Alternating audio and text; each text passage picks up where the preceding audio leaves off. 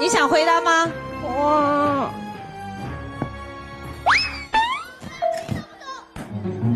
其实 Angela 她是有一点点的胖，但是因为她年纪很小，她现在属于 baby，呃，是是 baby 的时期。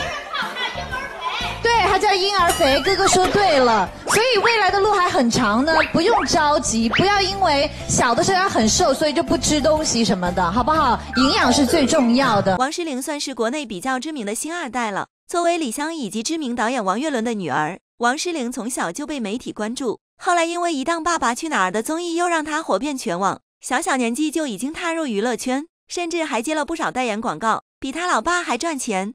这段时间，关于王诗龄减肥暴瘦这件事引起了网友们的关注。确实，暴瘦的太快，同时也太不真实了，这让很多网友都十分好奇。那么，究竟王诗龄是怎么做到的呢？而就在近日，有网友在网上晒出了王诗龄进行减肥瘦身的运动照片。这几张照片真实还原出了她减肥的全过程。确实，从之前的小胖妞到如今的鹅蛋脸，如果是真的的话，那么王诗龄绝对是一个很有毅力的孩子。对于一名养尊处优的星二代来说，这是非常难得的一件事。从王诗龄身上的健身照片来看，她身上穿的衣服以及装备都比较专业，不是盲目在健身。同时配备了专业的瘦身教练进行专业性的指导，或许这也是王诗龄能够在这么短的时间内减掉这么多脂肪的原因吧。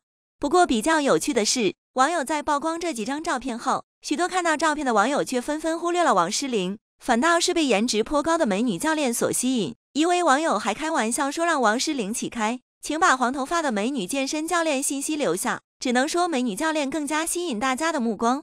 不过这也难怪。王诗龄和这位黄头发的美女教练站在一起，在颜值上确实遭到了碾压。虽然有王诗龄还小的缘故，但真论颜值，显然还是美女教练略胜一筹。更别说教练的身材通过健身塑造的那么好，本身打扮也非常时尚。当然，对于王诗龄减肥健身的毅力，大家还是认可的。明明在一年前她还是一个小胖妞，但转眼间却已经长成了十几岁的大姑娘了。如今的她更是到英国名校念书。估计未来进入娱乐圈又会是一个学霸，而且王诗龄的气质也越来越成熟。从照片上看，不苟言笑的样子，显然懂事了不少。不过这也难怪，李湘和王岳伦两人选择离婚，并且一度闹到撕破脸皮的程度。两人这么做，其实伤害最大的反倒是王诗龄这个孩子。王诗龄从小在娱乐圈中打滚，心里显然也比一般的星二代成熟。希望未来她能够在英国好好读书。未来不管是进入娱乐圈，还是选择和母亲一样转型成为一个商业女强人，都是一个不错的选择。